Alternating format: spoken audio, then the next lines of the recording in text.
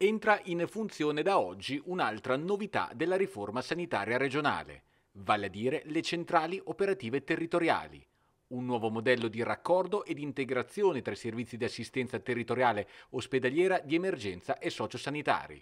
Un modello che con quasi 3 milioni di euro di finanziamento centra l'obiettivo PNRR,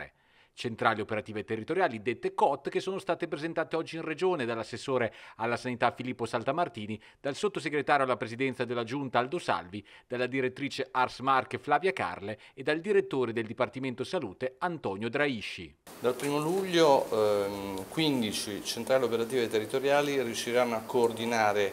i vari servizi sul territorio, ehm, riuscendo anche a verificare la disponibilità di posti letto e di servizi territoriali, una struttura prevista dal decreto ministeriale 77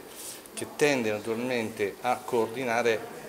tutte le varie aziende perché eh, fino ad ora, fino al primo luglio, vi era una cesura tra i servizi territoriali che erano, ruotavano intorno ai distretti e i servizi per acuti che ruotavano intorno agli ospedali, quindi diciamo che si è creato un sistema con degli operatori che sono in grado di mettere eh, tutti questi servizi in un coordinamento operativo e quindi questo è un grossissimo passo in avanti proprio perché noi registriamo delle carenze sul piano dell'assistenza territoriale oltre che delle lunghe liste d'attesa. Le cosiddette COT saranno 15 distribuite su tutto il territorio regionale. Nelle Pesarese saranno tre, una a Pesaro in via Vatielli, una a Fano in via 4 novembre e l'altra a Urbino in via Comandino. Saranno attive 6 giorni su 7 per 12 ore al giorno e serviranno a colmare carenze assistenziali, fornendo un contributo importante anche alla riduzione delle liste d'attesa.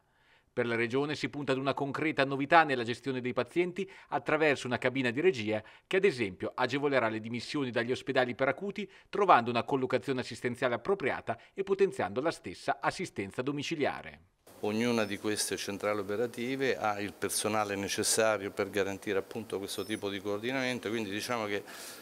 forse eh, del decreto ministeriale 77 è l'unica struttura che è in grado di operare integralmente. Le altre due strutture del decreto del PNRR, quindi le case di comunità e gli ospedali di comunità, invece sono strutture finanziate che tuttavia ancora non vedono coperta l'esigenza e la domanda di personale che dovrebbe essere attinto dalle strutture esistenti, quindi diciamo che le COT almeno dal punto di vista pratico e teorico sono in grado di operare e di garantire questo coordinamento.